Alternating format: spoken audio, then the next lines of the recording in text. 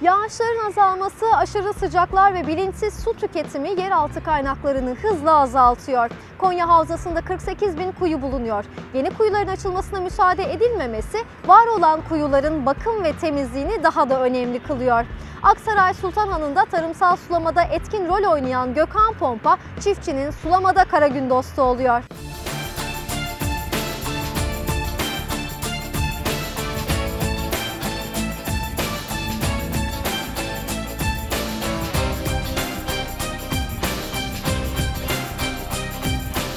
Yağışların azalması, aşırı sıcaklık ve bilinçsiz su tüketimi nedeniyle göller ve akarsular kuruyor, yeraltı suları azalıyor. Aksaray Sultanhanı'nda tarımsal sulamada etkin rol oynayan Ahmet Usta, derin kuyu su, dalgıç pompaları ve sondaj işletmeciliği konusunda en uygun çözümleri Türk çiftçisine sunuyor. Ahmet Usta baba mesleği olarak başladığı işte çiftçinin kara gün dostu oluyor. baba mesleği. Babamın yanında uzun yıllar 12-13 sene bir hizmet verdim.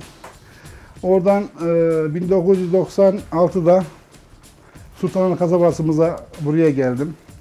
Buraya ufak çaplı bir dükkan açtık. Gökhan Pompa benim burada kuyu temizliği, kuyu bakım onarımı, e, Toksu marka dalgıçların bayisiyiz, dalgıç satımı. Yani büyük bir çapta şey veriyoruz hizmet veriyoruz yani.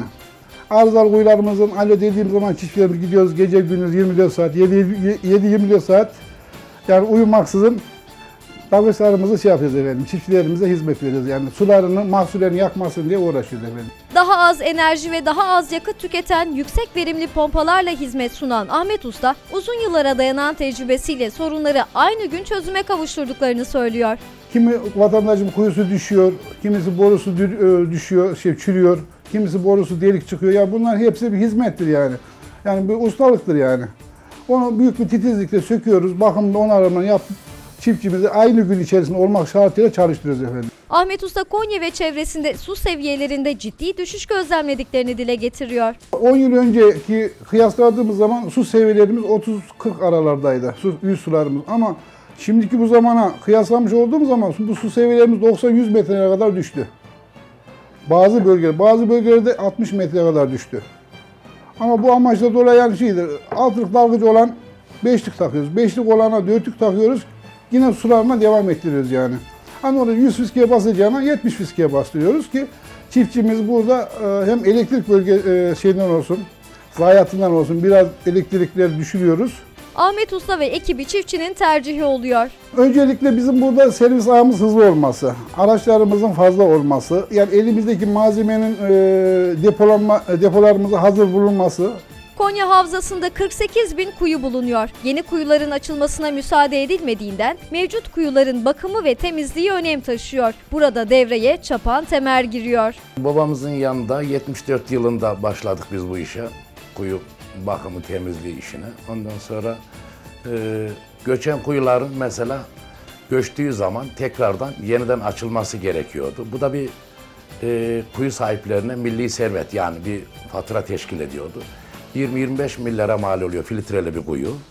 Ondan sonra e, 25 milyara yapılan bir kuyunun %10 bir fiyata yani 2-2500 lira gibi bir fiyata yeniden sıfırlanabiliyor. İçindeki o göçükten dolayı dolguları malzemeler alınabiliyor. Filtresi kopuksa, parçalanmışsa onlar yeniden tedavi ediliyor, bakım yapılıyor. Bu şekilde göçen kuyuların mesela su alınmadığı takdirde filtreler tıkanmışsa bunların bakımını yapıyoruz biz de. Çakıl taşı ve çamur gibi kuyunun dolmasına yol açan materyaller havayla çıkarılıyor. Derinlik önemli değil. 200-300 metrede olsun isterse 200 metre dolgu olsun. Bu boşaltılabiliyor havayla. Oraya ekleniyor. Sırayla altını vakum yemiş yaptıkça, boşalttıkça biz de sistemimizi aşağıya indiriyoruz vinç üzerinde.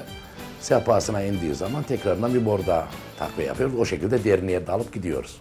Çamur, taş, ince mil ne varsa zemin olarak da bunun hepsinin alınması, göçen kuyunun tekrar açılması mümkün havayla. Çapan temel talep gelmesi halinde Türkiye'nin her şehrinde hizmet verebileceklerini söylüyor. Sultanahmet ve çevre bölgelerinde bu faaliyeti yapıyoruz biz şu an. Çok aşırı da geniş çaplı yapamıyoruz imkanımızdan dolayı. Öyle bir hizmet veriyoruz yani. Ama Türkiye'nin her tarafında da yapılmasından yanayız. Kuyu bakımı yapılması üreticinin maliyetlerinin de düşmesi anlamına geliyor. Kuyunun bakımını yapan bu bölgede ya da Türkiye'de e, yok diyecek kadar az. İhtiyaçlarına cevap veren yok. Şu an bir biz uğraşıyoruz bu işle. deneme yanılmayla biz bunu çözdük nasıl yapılması gerektiğini. E, şimdi 25 milyar çöpe gidecek. Burada %10 fiyatla fiyata aynı kuyusunu yeniden sağlığa kavuşturuyoruz yani.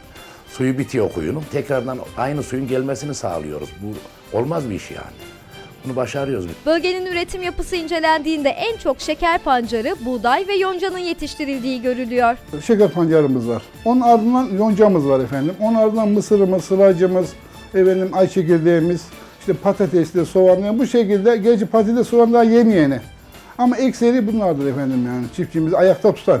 Ahmet Usta dün olduğu gibi yarın da çiftçilerin suya dair her türlü ihtiyacına yanıt vereceklerinin altını çiziyor. Maksat Sultanahmet kasabamızı e, ayakta durdurmak, tanıtmak. Hepsi budur yani. Bizim görevimiz bu yani.